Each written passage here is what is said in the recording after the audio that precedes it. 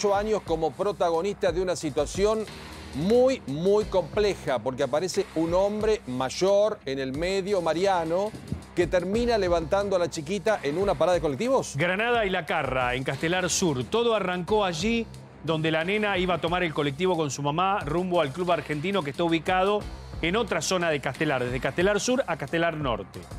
¿Qué pasó? Las cámaras de seguridad detectan cómo este hombre levanta a la nena y la lleva por varias cuadras, cruza prácticamente todo Castelar, para alcanzar a la nena hasta el destino final que era el club argentino. En un momento abandona a la nena, supuestamente porque dicen vio una patrulla policial en una de las esquinas, ¿no? En la zona de Segunda Rivadavia.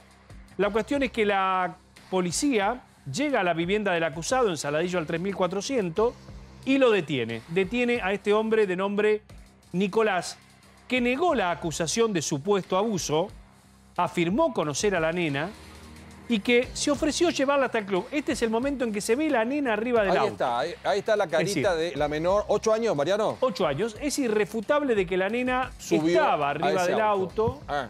de esta Renault Scenic, que es una, un monovolumen de Renault.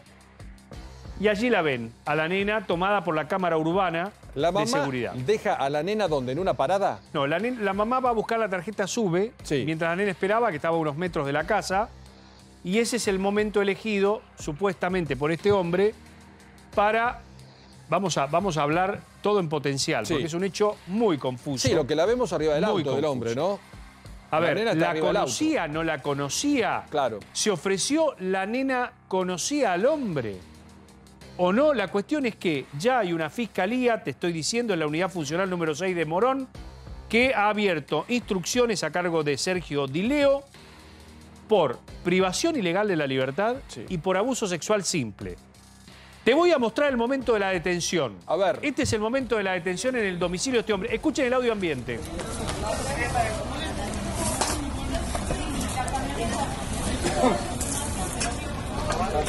Yo sé que son policías, estoy esposado en el piso. ¿Por qué me agarraron? ¿Por qué?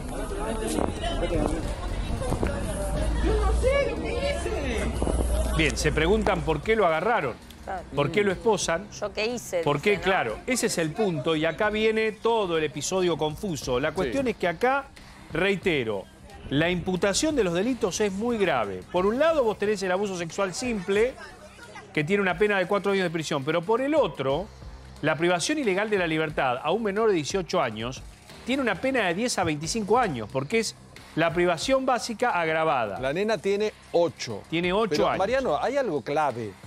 Hay algo clave. La madre y este hombre se conocen. Claro. Bueno, Con la familia Porque acá, o acá la justicia no se tiene que preguntar si la nena conoce a este tipo. Mirá, acá es simple esto. Tiene que ir la madre, la fiscal, el fiscal Dileo tiene que escuchar a la madre. Sí. Si es un conocido de la familia, listo, es un conocido de la familia. No, y además el cómo tema se acá, llega al abuso Claro, el tema Cómo acá se es llega a la denuncia del abuso. por qué el fiscal decide imputar abuso sexual simple. ¿Qué elementos tiene para imputar abuso sexual simple? Te digo, si no es un conocido, el caso es emblemático, rarísimo. Y gravísimo. Gravísimo. Si es un conocido, es una apariencia que engaña. Por eso te digo, si es conocido, quiero ser cauto. siempre y cuando no haya abusado. Quiero ser cauto. Siempre y cuando no se haya abusado. Puede abusar un conocido también. No, no, bueno, pero en Bueno. caso que sea también es recontra. ¿Qué son esos elementos que están arriba de- de- del auto? No sé qué.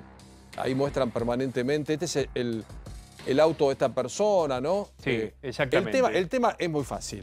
Eh, eh, desde el punto de vista conocimiento. ¿La madre conoce o no conoce a este tipo? Claro. Bueno. ¿Por qué la nena está arriba del auto? La nena se la ve en la imagen, o sea, la imagen es absolutamente clara. Bendita las cámaras que existen. ¿Se acuerdan que en algún momento cuando empezaron a poner Sí. cámaras decían, no, las cámaras, no sé qué? co-". Si no fuera por las cámaras no descubrimos nada. Sí. Porque acá tenemos el recorrido del vehículo, Sí. la mamá que va a buscar una tarjeta sube y el tipo este que carga con una nena de 8 años. Ahí está. Nunca había un pedido de un auto, de un, de un servicio de Pero- las No, aplicaciones. eh, les voy a contar un caso que cubrí hace algunos años para el Noticiero de América, unos cuantos años, cuando todavía inclusive el abuso sexual no estaba de alguna manera bien ampliado en el Código Sí. Penal y demás. un profesor de- de mayor de edad se va con una nena de 14 años que era su alumna Sí. en Córdoba. Menor de edad. Sí, y, y son hallados varios días después en un hotel de San Luis. El hombre solamente fue imputado en ese momento por rapto impropio. Claro. ¿Saben por qué? Porque la nena era virgen. Buah. En ese Pero momento. gracias a Dios la- En ese justicia momento- avanzó y mucho, ¿no? La- en ese momento Mm. no se le pudo ni siquiera imputar abuso simple. Claro. Tampoco el consentimiento era, signifi- significaba intención y libertad. Pero la cuestión es, porque tenía 14 años la nena, Exacto. pero la verdad que fue un rapto. Digo, acá se trata de un rapto. ¿Es un rapto esto? Bueno, esta es la imagen clave donde se ve a la chiquita y está Silvina Fernández Rosa- Rosarno, que es la abogada de Sebastián Galarza, el hombre que está imputado en esta situación. ¿Cómo le va, doctora? ¿Cómo le va? Buenas ¿Cómo anda? tardes. ¿Bien? Bien, muchas Bueno, gracias. a ver, ¿qué nos puede contar? ¿Cuál es el vínculo de este hombre? ¿Qué hacía este hombre con la chiquita, el auto? ¿Qué es lo que usted nos puede aportar? Bueno, ante todo le voy a contestar a Mariano, que hizo referencia a las imputaciones del fiscal Dileo, del cual considero que tiene una carencia de prudencia y temeridad manifiesta en este caso. Porque ¿cómo puede ser que empecemos el miércoles 27 de abril con una situación confusa que ahora vamos a tratar de aclarar? De rapto, entre comillas, porque recién se estaba abriendo la instrucción, y pasar al momento de tomarle la declaración indagatoria a quien hoy está en calidad de detenido, su situación procesal es de Pero detenido. vayamos a algo fácil para que la gente no se entienda. Después Pero, vamos con el a fiscal, ver. porque siempre tiene la culpa todo el mundo. Contemos qué pasó. Acá hay una chiquita que está en un lugar, viene un hombre con un auto y la sube. Ok. ¿Qué, ¿Cómo Paulo, es esto? le cuento qué pasó le- y ahora le respondo a Liliana. Este señor trabajaba en ¿Quién? una remisería que se llamaba El Ah. Molino. Es remisero. Es remisero. y había sido contratado reiteradas veces para trasladar a la niña al club eh, donde ella hacía gimnasia Argentino. artística, Argentino. al club Argentino de argentino de Castelar. Castelar. Sí. En una por- siempre viajó sola y siempre viajó con él cuando Mm. lo llamaban para prestar los servicios. Es decir, que era habitual que la madre contratara un remis para llevar a la nena y que la lleve hasta el club. No sabemos si era la madre. Lo que sí Ah. sabemos es que en una oportunidad sale el hermano a pagarle el dinero del traslado, que eran unos 350 pesos, y en la segunda ocasión, que recuerda mi cliente, fue la nena con el dinero en la mano. Por lo tanto, existía un conocimiento Ah. entre la niña y mi cliente. Bueno, este Pero hombre, vamos por paso. Este hombre trabaja en una remisería. ¿Trabaja en una Sí. remisería? Trabajaba en una remisería hasta el mes de eh, diciembre del ¿Esto cuándo 2021. fue? ¿Esto cuándo fue? Esto fue el miércoles 27 O sea, de no- abril. 27 de abril. Perfecto. Entonces, trabajaba en una remisería, Exacto. no tiene nada Sí, que ver con este acontecimiento. Trabajaba en una remisería en ocasión que fue contratado para brindar un servicio para esta niña. Bueno, pero perdón, el día que está la niña, esta foto, ¿este hombre estaba trabajando en la remisería o no? No, Eh, bueno, pero entonces no es él- más remisero, doctora. A ver, eh, él Yo era- fui vamos a, eh, vamos a ingeniero nuclear hace cuatro años, no soy más. Vamos a entendernos, estamos vamos, tratando tratemos, de... tratemos de no confundirnos, porque no, si no, no, se hace. usted Perdón, quiere este confundir. hombre es remisero, Vamos a hoy no. organizarnos. Ustedes bueno. preguntaron si había un conocimiento previo entre la niña y quien está imputado como detenido en este momento. Usted Sí, dice que sí, perfecto. Digo- bueno, yo digo que sí, Por y haberla lo dice- llevado en el Y remis. lo Bueno, dice, la, alguna declara- vez. y lo dice hoy- su declaración indagatoria, Vilauta. Hoy, hoy no es remisero. Pero no tiene nada que ver eso, porque tenemos que empezar a pensar cuál es el móvil. Ustedes hablaban antes de que hay una sociedad rota. ¿Desde qué momento empezamos a ser todos culpables ante la ley cuando todos ¿Pero tenemos por la qué la presunción llevaba de a la nena si Señora, nadie está culpando nada. ver, Nosotros estamos el preguntando para que relato de los hechos es que aclare. la Le pregunto madre- quién me dice remisero. ¿En qué, en qué remisería trabaja? No trabaja más en la remisería. Trabajaba en la remisería El Molino. Bueno, pero ¿Qué perdón. sucedió? Vamos a ordenarlo. ¿Trabajaba en una remisería hasta qué momento? Hasta diciembre del 2021 y después ¿Cuándo se dedicó a otra cosa. ¿Cuándo sucede este hecho por el cual está En la semana pasada. No trabajaba ¿Pero en la qué quiere decir? Entonces- ¿Que dejaron de conocerse, señor? No, no, no. pero- dejaron de conocerse, No, siguen doctora, conociéndose. Pero perdón, una cosa, Pero no una cosa que esa yo función. llamo a una remisería, pido un remis y trasladan a mi hijo. Otra cosa que ya la remisería no tiene nada que ver. Entonces la palabra remisería no la tenemos que utilizar No, más. sí es la un tenemos que señor que, utilizar hará porque era la función que él cumplía en ocasión de conocer a la niña. Perfecto. ¿Qué pasó el día 27 de abril? La madre, en una actitud absolutamente displicente, al olvidar, darse cuenta que se olvidó la tarjeta SUBE, deja a la niña sola en la parada del colectivo. Perdón, frenemos acá. La mamá se olvida la, la tarjeta, deja a la nena en la parada y va a su casa a buscar la tarjeta. Exacto. ¿A qué distancia entre la parada y la casa? Según dice ella, eran 50 metros. Según Bueno, dice. perfecto. Pero el hecho es que la dejó sola. Ahí vamos mejor, vamos con estos hechos, no con los del año pasado. No, pero esos Entonces- hechos también son reales. A ver, no los vamos a desvirtuar y no prescribieron, ¿eh? Nada que ver. No, no, no, pero perdón, está la chiquita en la parada, la mamá va a buscar la tarjeta, sube. Correcto. Aparece el señor Galarza. Aparece el señor Galarza, quien en un él estaba yendo para su nuevo trabajo.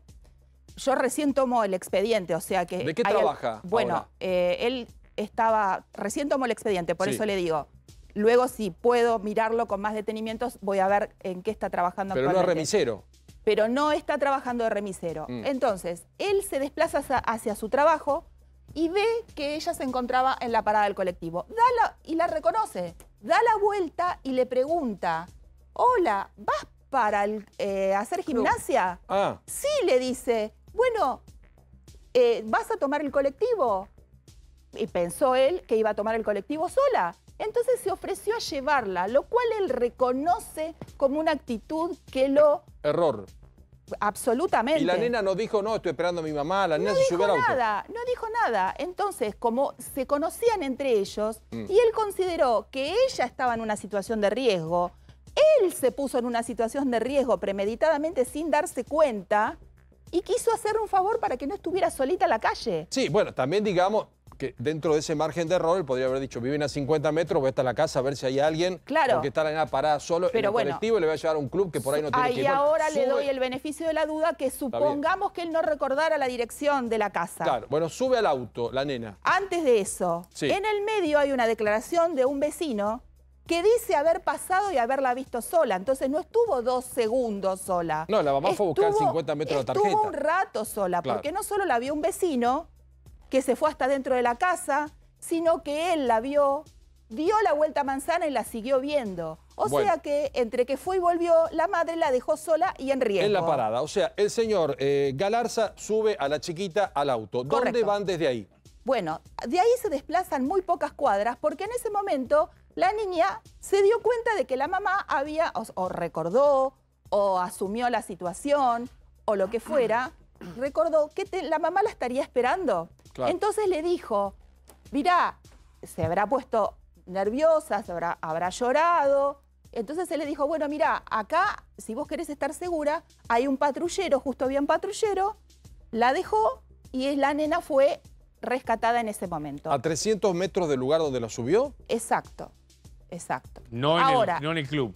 no en el club, porque la Mm. nena le transmitió, mi- me acuerdo, eh, esto es mi interpretación, porque no tenemos cámara GESEL aún. Claro. Ahora, ¿por qué? per- Discúlpeme, ¿no? Porque, Sí. digo, ¿qué, mérito encuentra preliminarmente en la aprehensión el fiscal Dileo para imputar abuso sexual simple? Absolutamente ninguno. Un ¿Sabe por- testimonio. pero, ¿Sabe por qué? Yo no puedo entender cómo transformamos una situación preventiva, que me parece correcto, para la averiguación de qué es lo que está sucediendo, dentro de lo que es la- el principio de inocencia que tenemos todos, Eso está claro, Juga desde el punto claro, de vista de también que la madre se negó a que la niña fuera reconocida por el médico legista. está bien, pero, digo, por algo el fiscal, digo, los fiscales no, no, no ¿Sabe- imputan por ¿Sabes imputar, qué pasó? Eh, Mariano, te voy a explicar. La gente que recibe a la niña en el momento que está en la puerta de su casa hasta que va caminando al patrullero y llama al 911, empezó a incorporar un valor agregado al testimonio de la criatura. La criatura dijo, solo me tocó la pierna. ¿Qué quiere decir ¿Qué eso? dijo la nena, perdón? Solo me tocó la pierna. Bueno, pero doctora, perdóneme, si tanto lo conoce a este hombre que fue tan generoso y la llevó tantas veces, Sí. y él ve que la nena se pone mal y tiene tanta confianza con la familia, en vez de entregarla a un patrullero, le entrega a la mamada. Bueno, pero ¿Cuánto- ¿Cuánto imaginémonos- circularon? ¿300 metros nada más? 300 metros era más Nada. fácil volver a la Imaginémonos una situación delirante de la cual estoy completamente de acuerdo con ustedes que no debió suceder. Claro. Pero él vio a la niña en una situación de riesgo y consideró que quería ayudarla. Está bien, pero yo le voy a decir Sí. una cosa. En, una, en, un, en un momento de la sociedad argentina, donde a un nene en un colegio ni siquiera le cambian los pañales, Sí. Totalmente de acuerdo, Mariano. no lo llevan al baño, dejan entrar a la nena sola al habitáculo del baño, Sí. no tocan ni un... pero nada, ni el papel higiénico, una maestra, un hombre desconocido, porque es un desconocido para la nena, por más que La llevó al club, qué sé la, yo. la lleva al club, tocarle la pierna. Tocarle Bueno, la pierna es un abuso. Pero ¿Qué espérame, quiere que le diga? espérame, Mariano, Es espérame así. ahí, porque no hay que ver cuál es la intencionalidad, porque tocar la pierna a una persona No no, es tiene que solamente tocar nada. espera, Pero, doctora, no tiene que escúchame, tocar nada. espera que paramos. No, Pudo nada, haber sido eso. Nada, que no tiene que tocar nada. Bueno, no le estoy diciendo que una le- maestra no le cambia los ¿Cómo pañales a un tocar la niño. Pero nos ¿Para qué le va a tocar la pierna, nos doctora? estamos yendo al no, no. pasto. No, no, No, no al Realmente, pasto. no, absolutamente. Es la Porque cultura- cuando no. ella le pre- cuando le preguntaron a la niña, por eso me pregunto, ¿cómo pasamos del 27 de abril a solo, ella dice, solo me tocó la pierna, cuando pudo haber sido, espera que ya te dejo. Bueno, pero eso, es, Espera es- que ya te eso, dijo, eso a lo aporta usted en un al libreto 30 de divino. abril. Esperá, eso no lo dijo. Bueno, eso, eso lo inventa usted. Eso lo analizo yo en el contexto de que mi cliente es que no inocente. sé si son ciertas, Mi cliente es inocente, pero lo que quiero responderle a Mariano, ¿cómo llegó el fiscal a considerar Y es la pregunta sin que hace. ningún La pregunta tipo que de. Pero prueba? perdón, la madre que tanto conocimiento tenía de este señor cuando era remisero y de tanta error. confianza, Ahí ¿qué dijo? Ella no tenía conocimiento porque ella no contra, puede ser que lo haya contratado por teléfono, Ah. pero el único que, la cono- que lo conocía era el hermano, quien una vez salió del domicilio Ah. y le pagó. Perfecto. Entonces ese va a ser un testigo que voy a llamar para que Sí, considere que hay un hay- conocimiento hay, en estos básico. tiempos en donde, parte de lo que decía Mariano también y Paulo, en estos tiempos en donde si hay un menor, se lo resguarda y hay un mayor involucrado, se lo aprende, lo detiene hasta tanto se constate, no es descabellado. Pero estamos en una sociedad al revés, estimado, porque hemos Bueno. ahora, estamos tan preocupados porque todo es eh, violencia de género, todo No, es todo no. abuso sexual. No, Cuando las cosas no son ni blanco ni No, negro, y hay una cantidad No, de matices que hay que tener en cuenta. pero perdónenme, chicos, no, pues si cosa. damos un mensaje. Yo prefiero un No, fiscal no. que investigue Claro. y no comerme la historiecita de un señor generoso que para con un auto y su de 8 años la lleva a dar una vuelta. ¿eh? No vengamos, doctora, perdón, si usted está con ese ¿de tipo de dónde Ahora, yo estoy mirando. eso, ¿eh? Estoy mirando la imputación. Estoy de acuerdo con vos, Paulo, pero estoy mirando la imputación y de, de dónde se observa que le to- cosa? entre le tocó la pierna y le Sí. tocó la entrepierna hay un abismo Bueno, pero y un estamos hablando océano. de una nena de 8 años y como dice el doctor Jesse, no hay que tocarle ni la pierna, ni la entrepierna, ni subirla al auto, doctora. Pero ¿cómo No la va. subís? A ver, si usted la querés una subir al de auto, ocho le años, das la quisiera ver mano. si esta- ¿Eso es abuso estaría también? tan suelta de lengua si fuera su hija. Pero, ¿qué tiene que ver que ¿Cómo sea que o no tiene sea que mi ver? hija? Una nena de 8 años que no tiene Yo también discernimiento. llamo a remis para que la vayan a buscar al colegio y no por eso voy a decir que porque le tocaron una Pero, pierna o le tocaron doctora, una mano para perdón, subir al auto, recapitulemos, la si están confundimos. abusando. Acá hay una mamá que está con una criatura que la tiene que llevar a un club. Que la dejó sola en el medio de la bueno, calle a las pero 2 de la tarde. Usted se pone tan sensible con la mamá que fue a buscar minutos. una tarjeta y no la Porque yo también sensibiliza soy que un madre tipo que ni la no conoce la sube en un auto y le toca una pierna. No lo haga haría. una sensiblería barata de algo que no corresponde, No, doctora. no me- porque no, es más por favor, preocupante no me falte el usted quiere respeto. poner No a la me falte el madre respeto. en un lugar que no corresponde. Bueno, no me Porque falta el fue a 50 respeto. No, usted me no es falta el respeto a mí, a la gente, defendiendo a cualquier Estoy cosa. mostrando una realidad, que ¿Qué la sociedad está ¿Qué tan rota, como dijo, como No, dijo no, Martín que ya no defiende- podemos ni siquiera No. ayudar a nadie en la calle por temor a Pero, que nos denuncie. Doctora, tocarle la pierna a una nena de 8 años ayudar Pero a la gente. le ¿De puede haber tocado hablando? la Por pierna favor. como se lo puede haber rozado, estaban en un auto. Pero esto lo está inventando usted Yo para no defender estoy a un inventando tipo. nada. Nuevamente no me falta el Pero respeto. perdón. Tengo acá la declaración, Per- la declaración usted me dice- indagatoria del, perdón, del cliente, Perdón, de mi usted me dice cliente. lo de Rosario. Usted lo está inventando. Yo no estoy Usted inventando, estoy diciendo lo que dice acá. Acá dice, la criatura Ah. ¿Qué dice la indicó, indagatoria, A ver, ¿qué doctora? dice? ¿Qué dice? ¿Qué Solo dice? me tocó la pierna. Bueno, no la rozó, como acaba de inventar Es- usted. la tocó. Solo me tocó Listo. la pierna. le gusta, así la tocó. Pudo haber sido, como pudo haber no sido, pero también pudo haber sido, espera que ya freno. Pero esto, esto lo inventó Pero, usted. pero eso no es que lo inventó yo, es una posibilidad entre Bueno, mil. entre mil. No Como vayamos a la que a usted... dicho. Perdón, a no si vayamos a la que a usted le Como conviene. también pudo haberle Hago dicho, una pregunta. subí, acá vení, subí. acá hay ¿Iba en padre el asiento atrás, Vení, doctora? subí. ¿Iba en el asiento atrás o adelante? Adelante, vení, Adelante. ¿Y por qué si era el remisero la lleva adelante? Porque él no tenía ninguna intención de actuar como remisero. Simplemente la vio, Está bien, pero si la yo vio en una hago una Si situación yo soy el taxista habitual Sí. ya no trabajo de taxista y veo a alguien conocido, subí que te llevo. Hago una pregunta. No. Ustedes, tienen, pensó. ustedes tienen hijas. Ustedes tienen hijas. claro. Sí. Si un tipo le toca la pierna a tu nena, ¿a vos te preocuparía? No, sí, además de eso, si se la Si la sube un lleva auto. un- Mariano. si Si la se la auto, lleva primero. en el auto sin mi consentimiento, por más que ella esté en la vereda, yo lo denuncio Mm. directamente. ¿eh? Perfecto. Bueno, vuelta. acá hay Que padre, se doctora, porque usted... Una cosa usted que esté perdida. A ver, un padre, a ver, un padre del colegio puede, de alguna manera, llevar, ofrecerse a llevar porque lo conoce, Sí, y ni lo haría. Ni lo haría. No, pero te sin llaman por teléfono. y te autorización, avisan. perdón, Te sin la llaman, autorización. Pero de el la tema, el tema haría. de, eh, de- del tocamiento en una pierna, hoy por hoy el contacto físico es El Clave. tema es ese. totalmente... ¿Cuántos años tiene el señor Sebastián no- Galarza? Esto nunca debió suceder. 34 ¿Estamos de 34 acuerdo? años. Y la Estamos- nena a ver. 8. Sí, 34. Expliquemos, la nena y la mamá están en una parada. La mamá no encuentra su tarjeta, sube y va 50 metros a su casa a buscar la tarjeta. En ese momento la chiquita queda en esa parada. Pasa un señor Galarza que trabajó hace un tiempo en una remisería y no trabaja más y para y le dice, ¿dónde vas? Sí. Al club te llevo. A los 300 metros la nena, 300 metros es supuestamente lo que dice este señor, la nena se da cuenta que había quedado su mamá, se, se pone mal y la entrega a un patrullero este hombre, porque había una patrulla por ahí. Y la Eso nena, en lo que mm, lo primero que dice, que este hombre le tocó una pierna o algo Cuando por le el preguntaron qué te hizo, qué pasó, ella relató los hechos y le preguntaron, ¿pasó algo más? Solo me tocó la pierna. Mm. Ahora, ¿cómo pasamos del relato de la niña que aún no ha tenido su cámara Gesell como corresponde? O sea que Claro, no bueno, eso es válido aún, pero Está- ella lo manifiesta espontáneamente ver. y yo le creo. ¿Cómo pasamos del 27 de abril a ese relato al 30 de abril a me le tocó la entrepierna? Bueno, es una nena de 8 años. Vamos a Sí. saludar a Adriana Reiser, que es la mamá del hombre que está detenido, Sebastián Galarza. ¿Es así? Señora Adriana, ¿cómo le va? Buenas tardes. Sí, lo escucho muy bajo, discúlpeme. Ahí le levantamos un poquito. Adriana, gracias por atendernos. ¿Qué, qué nos puede contar No, usted? prácticamente no lo escucho. A ver, ahora. Un poquitito mejor. Bueno, ¿qué nos puede contar de lo que está pasando su hijo, señora?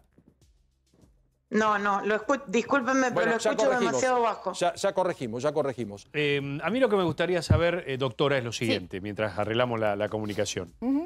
¿Por qué la deja a los 300 metros y no la lleva a destino? Claro, eso sí. Porque Lo que se él pone a llorar. manifiesta es que la niña le empezó a contar que la había dejado la mamá, que Hola. iban justamente, el, el destino era ese club. Por eso le, cuando él le preguntaba, ¿vas al club?